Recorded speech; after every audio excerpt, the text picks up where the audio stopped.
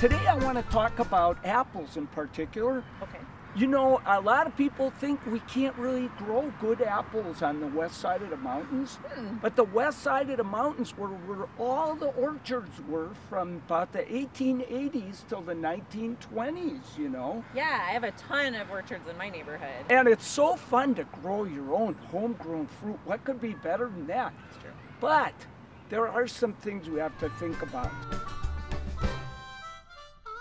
Probably the first thing we need to think about our apple scab. That's an easy thing to control.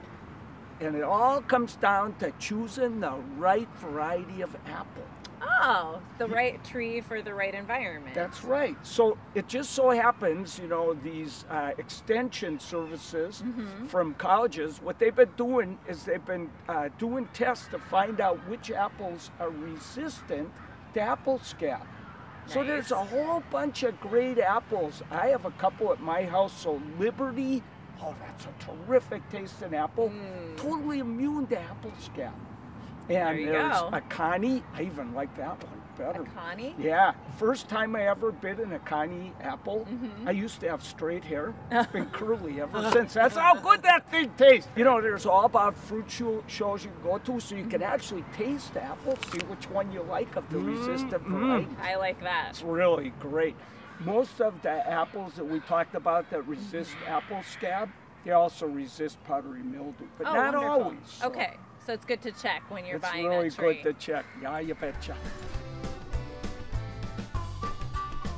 You got to be out of your mind to grow a full-size apple tree. Oh my gosh, they end up huge.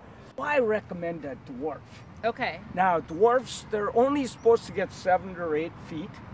But if you don't prune pretty hard, it's going to be 15 feet tall, oh, even Oh, wow. a dwarf.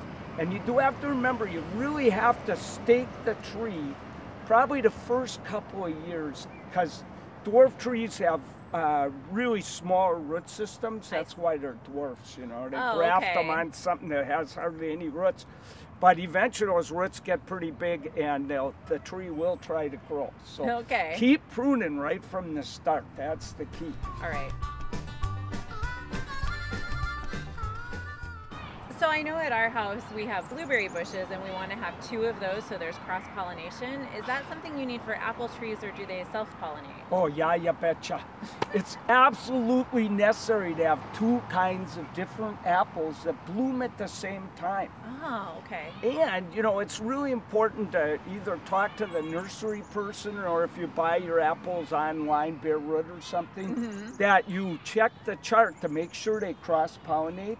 Uh, Because apples are not self-fertile, most of them. A few set some fruit, but you'll get way better fruit and a lot more if you have two different kinds. okay. And you know, for one apple, a bee has to hit a flower of a different kind of apple tree, then hit this flower on this apple tree 30 times. The next thing to think about is you want a spot with good sunshine.